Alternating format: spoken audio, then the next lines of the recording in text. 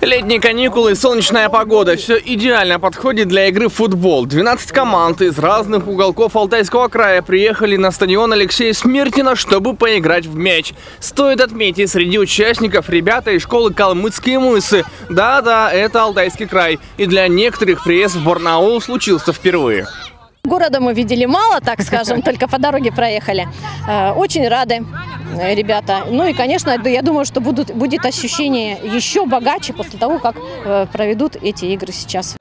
Главная отличительная черта фестиваля – в каждой команде играет девочка. Они наравне с мальчишками вырывают мяч и стремятся забить гол. Правда, полностью раскрыться все же что-то мешает. Не страшно против пацанов играть или они тебе помогают? Стесняюсь только еще. Стесняешься? Почему? Не знаю. Столько мальчиков, а две девушки только. Почему вы должны сегодня победить? Чем вы хороши? Чем ваша команда отличается? То, что мы за друг друга болеем, то, что мы друг друга поддерживаем. И еще пару фишек из регламента фестиваля. Команда играет без вратаря. Чем больше забьют голов, тем лучше. И самое важное, каждая команда, вне зависимости от результата, получит медали и кубки за первое место.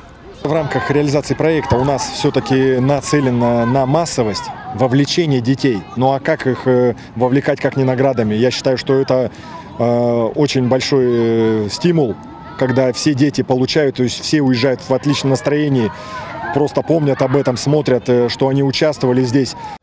Добавим, что сейчас в проекте «Футбол в школе» участвуют 72 учебных заведения края, а со следующего учебного года добавится еще 24. Тем самым детей, вовлеченных в этот теперь уже массовый вид спорта, становится в регионе все больше. Собственно, такую задачу и ставят организаторы проекта. Дмитрий Дроздов, Владислав Ковалев. День с толком.